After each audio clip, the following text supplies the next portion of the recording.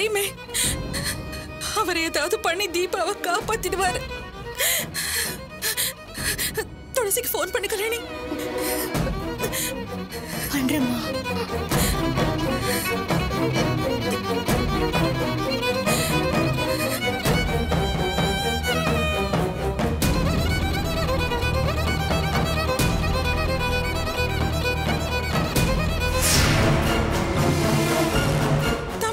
மும்பைல இருக்கிற மினிஸ்டர்லாம் தெரியுமே.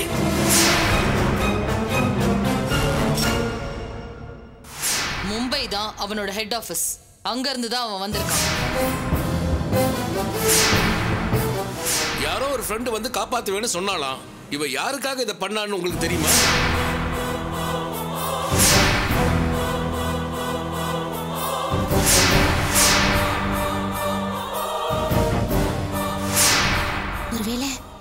தமிழ் சொல்லி தான் இது பண்ணிருப்பாளோ?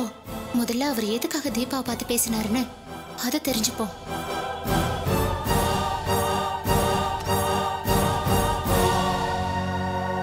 அம்மா லைனே கிடைக்கல. நான் நேர்ல போய் துளசியை பார்த்து பேசிட்டு வந்துடுறேம்மா தீபா கண்ணு முழிச்சிட்டானா? போலீஸ் கூட்டிட்டு போயிடுவாங்க. அதுக்குள்ள ஏதாவது பண்ண சொல்லு கல்யாணி. சீக்கிரம். சரிம்மா நீங்க தீபாவை பத்திரமா பாத்துக்கோங்க நான் போயிட்டு வந்துடுறேன்.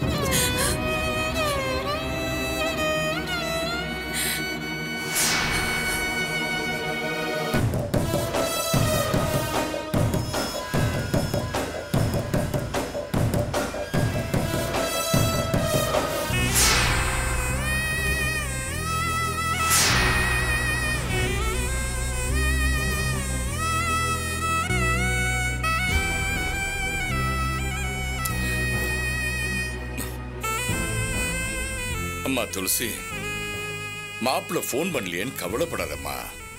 இந்த பிரச்சனையை சால்வ் பண்றதுக்காக அங்கேயும் இங்கேயும் அலைஞ்சுக்கிட்டு இருப்பாரு. அதனாலதான் ஃபோன் பண்ணலன்னு நான் நினைக்கிறேன். அம்மாடி மாப்பிள்ள எல்லாத்தையும் சரி பண்ணிடுவாருமா தைரியமா இரு.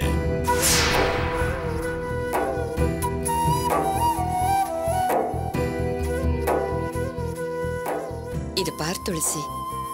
நம்ம மாப்பிள்ளையால யாருக்கும் எந்த கஷ்டமும் வராது. தீபாவளி தொடங்கி கல்யாணி வரைக்கும் அவர் எவ்வளவோ உதவி பண்ணியிருக்காரு. அப்படிப்பட்டவரு இப்ப மட்டும் விட்டுருவாரா?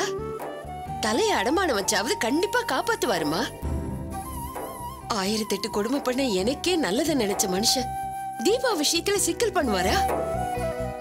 யாரோ தெரிஞ்சவங்கள கார்ல அனுப்பி அதனால பிரச்சனை ஆயிருக்கு. அப்ப கூட அவர் என்ன சொன்னாரு? பிரச்சனை வராதபடி பாத்துக்கிறதா? தீபாவை பார்த்து சொல்லிட்டு தானே போயிருக்காரு?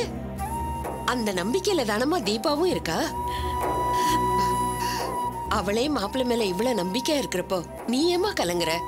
தைரியமா இருமா இல்ல சித்தி. தீபாவோட பிரச்சனைக்கு அவர்தான் காரணம்னு தெரிஞ்சும். அதை சொல்லாம மறைக்கிறேனே. அதுதான் எனக்கு வேதனையா இருக்கு. கல்யாணி கேக்குற கேள்விக்கெல்லாம் நல்லா பதிலே சொல்ல முடியல சித்தி. பேசுடி. நல்லா பேசு. உனக்கு தான் பொய் பேசுறது கை வந்து கலையாச்சே? பொய்யே பேசு.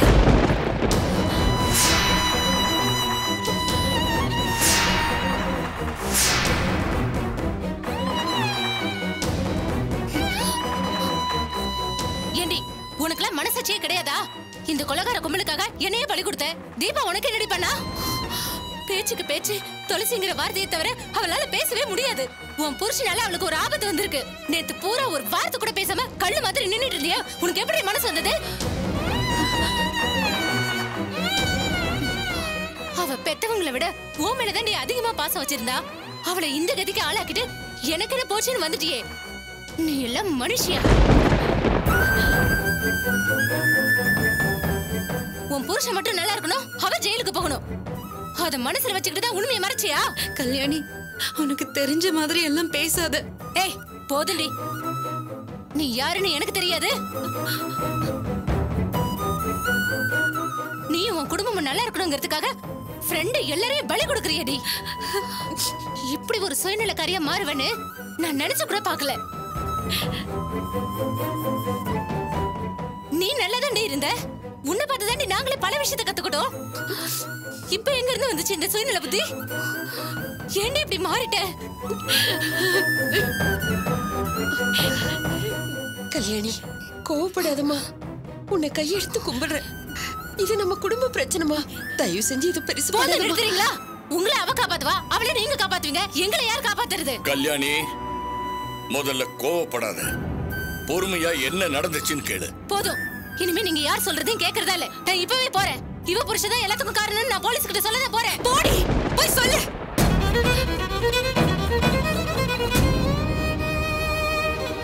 இவ்வளவு நாள் பழகி இருந்தும் துளசி எதுக்காக தான் செஞ்சிருப்பான்னு உன்னால புரிஞ்சுக்க முடியலனா நீ எல்லாம் என்ன ஃப்ரெண்ட் போய் சொல்லு போ!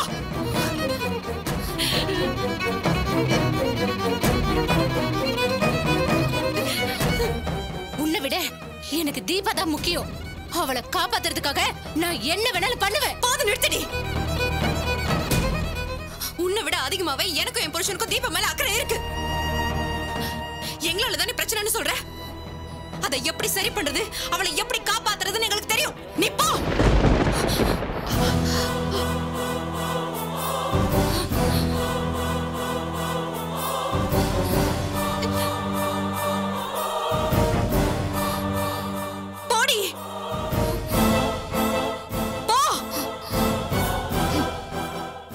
பதில் பேச முடியலனா என்ன வெளிய போன்பியா இப்போ இத வேற கத்துக்கிட்டியா? போறண்டி உன்னையும் உன் புருஷனையும் நான் சும்மா விடுறதா இல்ல. இந்த கேஸ்ல இருந்து தீபா மட்டும் வெளிய வரல. நான் என்ன பண்றேன்னு மட்டும் பாரு. போடி. என்ன வேணா பண்ணிக்கோ. நீ எல்லாம் எனக்கு ஒரு ஃப்ரெண்டே கிடையாது.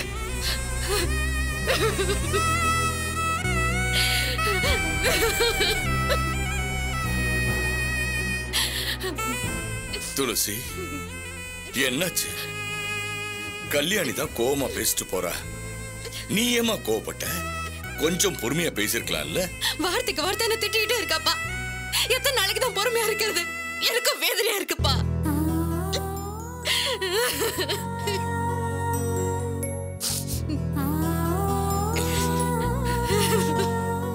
சரி சரி விடு. எல்லாத்தையும் ஒரே நாள்ல சரி பண்ண முடியாது. கொஞ்ச நாள் போகட்டும். அவளே புரிஞ்சுக்குவா அப்பா. அவ போலீஸ் கிட்ட போவேன்னு சொன்னாலேப்பா கோவத்துல ஏதாவது பண்ணிட போறா. அப்படி எல்லாம் அவ செய்ய மாட்டாடா. இருந்தாலும் நம்ம கொஞ்சம் முன்ஜாக்கிரதையா இருக்கிறது நல்லது. துளசி இனிமே நம்ம பொறுமையா இருந்தா பிரச்சனை வேற மாதிரி ஆயிடும். மாப்பிள்ளையோட மச்சான் நிதிஷ் இப்போ சென்னையில தானே இருக்காரு? ஆமாப்பா இங்கதான் இருக்காரு. நம்ம அவரை போய் பார்ப்போம். நடந்த விஷயத்தை அவர்கிட்ட சொல்லுவோம். மாப்பிள்ளை எங்க இருக்காருன்னு விசாரிக்க சொல்லுவோம்.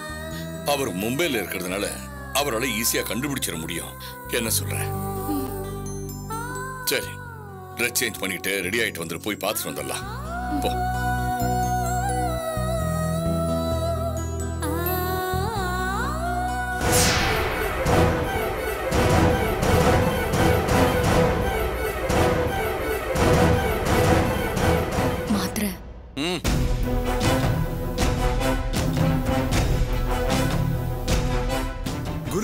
வாய்ப்பே இல்ல மாயா. நேத்து அவனை பார்க்கும்போது குடிச்சிட்டு நிதானம் இல்லாம படுத்திருந்தான் வேற யாரும் இத பண்ணிருப்பாங்க? தெரியல மாயா. ஆனா ஒண்ணு மட்டும் புரியுது. எனக்கு வேண்டாத யாரோ என்ன மொத்தமா அழிக்கிறதுக்காக பிளானோட பண்ணிருக்காங்க. அது விரோதியாகவும் இருக்கலாம். எங்கிட்ட வேலை பார்க்கறவங்களா இருக்கலாம். யாரா வேணாலும் இருக்கலாம். நம்மளோட சோர்ஸ் நெட்வொர்க் ஆக்டிவிட்டிஸ் எல்லாத்தையும் தெரிஞ்சு ஒருத்தனால தான் இது பண்ண முடியும். அவ யாருன்னு கண்டுபிடிக்கணும். ஒரு ஃபுல் டே தேடி இருக்கோம். இது வரைக்கும் தமிழ் எங்க போனானே தெரியல. பிரச்சனைக்கு போய் இந்த தலைமறைவா இருக்கானா? இல்ல எவன்கிட்ட அது வில போயிட்டானா? இல்ல யாராவது அவனை மிரட்டி கஸ்டடியில வச்சிருக்காங்களா? ஒண்ணுமே புரியலையே. ஒருவேளை ஒருவேளை அவன் போலீஸ் கிட்ட மாட்டிக்கிட்டானா? எங்கேயாவது அனோகுதிதா இத்தனை காலமா நான் கஷ்டப்பட்டு உருவாக்கின என் சாம்ராஜ்யத்தை அழிச்சிருவாங்க என்ன ஒண்ணுமில்லாம பண்ணிடுவாங்க. ஐயோ ஏங்க இப்படி எல்லாம் யோசிக்கிறீங்க? இல்ல மாயா எனக்கு என்னமோ பயமா இருக்கு. இந்த பிரச்சனை இருந்து நான் தப்பிக்கணும்னா அதுக்கு ஒரே வழிதான் இருக்கு. தமிழ் இங்க வந்துதான் ஆகணும். சத்யா சார். நீ என்ன பண்ணுவ எனக்கு தெரியாது. Within twenty four hours Tamil இங்க வந்தாகணும். அதுக்காக நீ என்ன வேணாலும் பண்ணிக்கோ. பணத்தால முடியும்னா பணத்தால முடி. ரத்தம் தான் தீர்வுனா. அதுக்கு நீ தயங்காத. அவன் உயிரோடவோ பணமாகவோ இங்க வந்து ஆகணும்.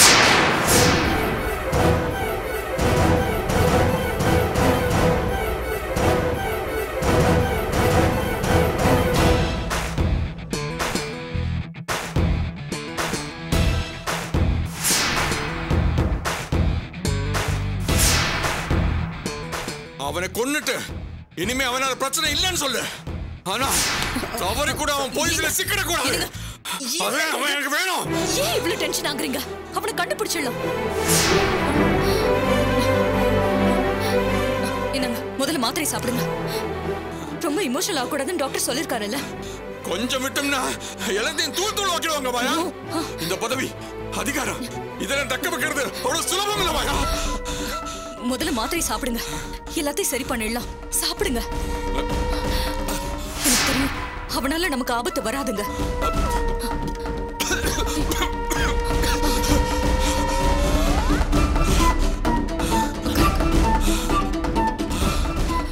சத்யா எஸ் மேடம் ஏதாவது பண்ண. நிச்சயமா மேடம் தமிழ் எங்கே இருக்கான்னு நம்ம ஆட்களை விட்டு தேட சொல்றேன்.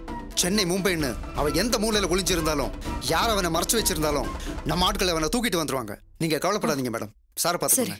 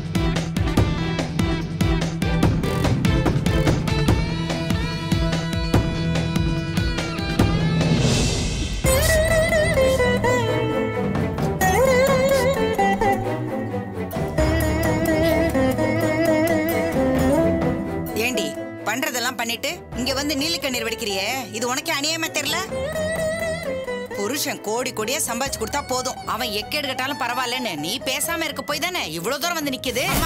இருக்கிற பிரச்சனை போதாது நீ வேற ஆரம்பிக்காத. நீ கொஞ்சம் பேசாம இருக்கியா? அவன் தான் விவரம் இல்லாம பண்றான்னா? அப்பவே இவ கண்டிஷன் பண்ணிருக்கணும். அதை விட்டுட்டு தான் நல்லா இருந்தா போதும். தான் படிப்புக்கு பணம் அழுதா போதும்னு. அவனை சிக்கல்ல மாட்டி விட்டுருக்காளே. இவெல்லாம் ஒரு பொம்பளையா? நாங்கெல்லாம் படிக்கிறதுக்கே பிறந்தவங்க. போராள பிறந்தவங்கன்னு பெருசா பீத்திக்கிட்டல அவன் கட்டுக்கட்டா பணத்தை கொண்டு வந்து போடும்போது அப்பவே இதெல்லாம் எங்க இருந்து வந்துச்சு? எப்படி சம்பாதிச்சான்? யாரோட பிசினஸ் பண்றான்னு அவங்க எல்லாம் சரியான ஆளுங்களான்னு விசாரிச்சு பாத்துருக்கணும்ல இவளை கட்டினவன் நாயா பேயா அலைஞ்சாலும் பரவாயில்லன்னு இவ பேசாம தானே இருந்திருக்கா? இதாடி படிக்கிறவ பண்ற காரியம்?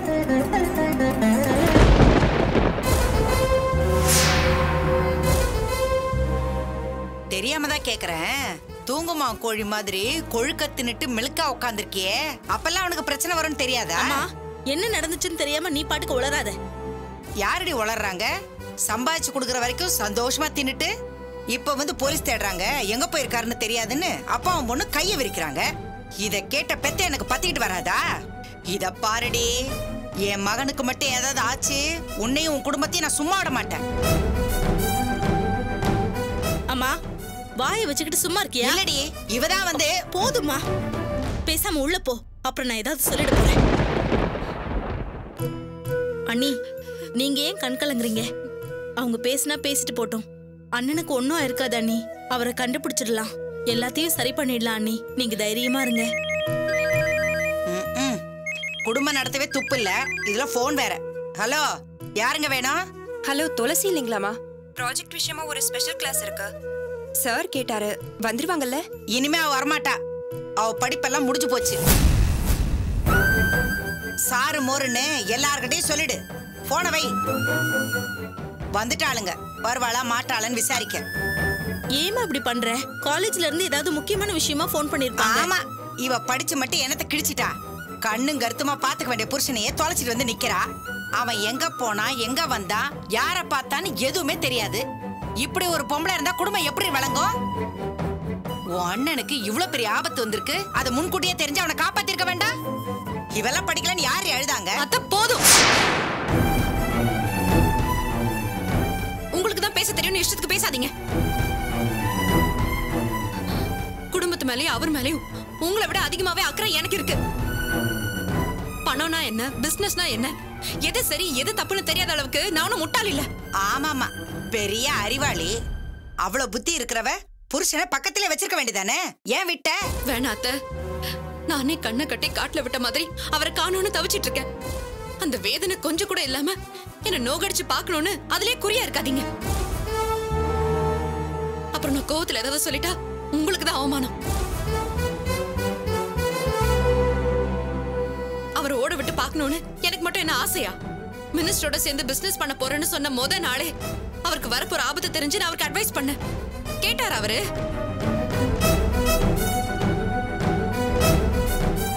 இந்த பிசினஸும் வேணாம் பணமும் வேணாம். நிம்மதியா இருந்தா அதுவே போதும்னு நான் எவ்வளவோ எடுத்து சொன்னேன். உண்டா இல்லையானு லாவண்யாவை கேளுங்க. என்ன விடுங்க. லாவண்யாவும் நிதிஷும் எவ்வளவோ எடுத்து சொன்னாங்க. இது வம்புல தான் போய் முடியும். வேண்டாம் விட்டுருங்கன்னா அவர் கேக்குறதா இல்லையே? சொல்ல சொல்ல கேட்காம என் வளர்ச்சியை கெடுக்காத. என்ன சம்பாதிக்க விடு என்ன டிஸ்கரேஜ் பண்ணாத. முட்டுக்கட்டை போடுற அது இதுன்னு தாம் தூம்னு குதிச்சாரு இது எதுவுமே தெரியாம எல்லா பிரச்சனைக்கும் நான் தான் காரணம்னு ஏன் மேல பழி போடுறீங்க?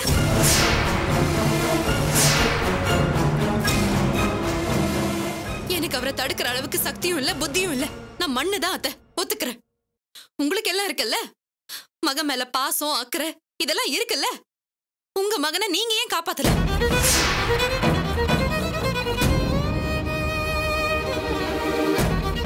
பணத்தை விட நிம்மதி தான் பெருசு. தப்பான ஆட்களோட சகவாசம் வச்சுக்காத. வீட்ல இருன்னு அட்வைஸ் பண்ணிருக்கலாம்ல. ஏன் பண்ணல?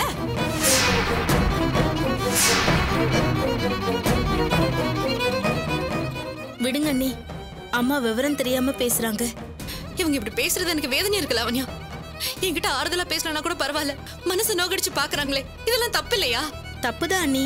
ஆனா அம்மா அண்ணனை காணுங்கிற பதட்டத்துல தான் பேசுறாங்க. ஆமாண்டி. பிள்ளைக்கு ஒரு பிரச்சனைனா பெத்தவ பதறதான் செய்வா. இதை இவளை ஏன்னு கேட்க கூடாதா அம்மா நீ கொஞ்சம் பேசாம இருக்கியா? இதெல்லாம் அண்ணனால வந்த பிரச்சனை. அவரா தேடிக்கிட்டது. இதுக்கு அண்ணி என்ன பண்ணுவாங்க? உன்னால முடிஞ்சா இதை எப்படி சரி பண்ணலாம்னு சொல்லு. என்ன கேட்டா? எனக்கு என்ன தெரியும்? தெரியாதுல்ல. நீ பேசாம இரு. முதல்ல உள்ள போ. இத பாருடி.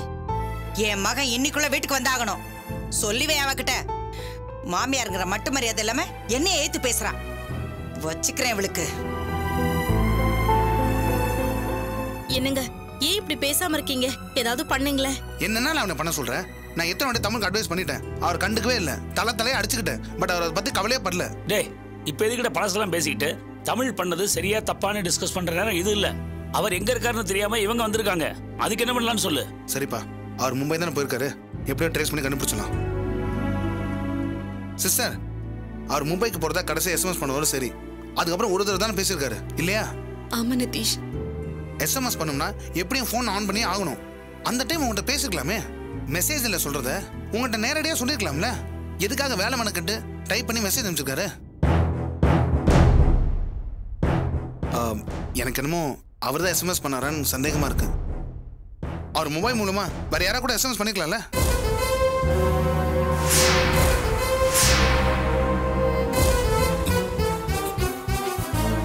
தம்பி என்ன சொல்றீங்க? ஆ, இல்ல இல்ல. அப்படியும் நடந்துக்கலாம்னு ஒரு டவுட்ல சொன்னேன்.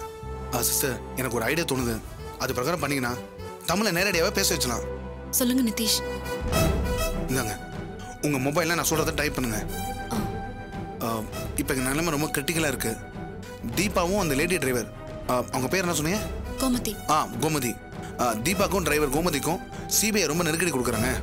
என்னால் இங்கே சமாளிக்கவே முடியல. ஒரு நிமிஷம் இருங்க. நீங்கள் எனக்கு உடனே ஃபோன் பண்ணுங்க. நீங்கள் அனுப்புகிற எஸ்எம்எஸ் மேலே எனக்கு டவுட்டாக இருக்கு. ஆ. நீங்கள் தான் அனுப்புறீங்களா? இல்லை வேற யாராவது அனுப்பி என்னை மிஸ்கைட் பண்ணாங்களான்னு எனக்கு தெரியல. நீங்கள் என்கிட்ட ஃபோனில் பேசுங்க. நான் உங்கள் குரலை கேட்கணும். உடனே நீங்கள் பேசணும். அப்படி நீங்கள் பேசலனா உங்கள் குரலை நான் கேட்கலனா நான் போலீஸுக்கு போவேன். என்ன நிதிஷ்? அவரை மீறி எதுவும் பண்ணக்கூடாதுன்னு சொல்லியிருக்காரு. இல்லை சிஸ்டர் நம்ம போலீஸில் போக போகிறதில்ல சும்மா ஒரு மெசேஜ் தானே? தைரியமாக அனுப்புங்க. தைரியமாக அனுப்புங்க சிஸ்டர் உங்களை பேச தான் இப்படி பண்ண தமிழ்கிட்ட சமாளிச்சுக்கலாம்.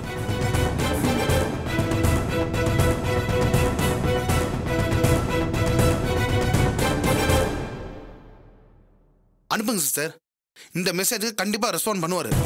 அனுப்புங்க.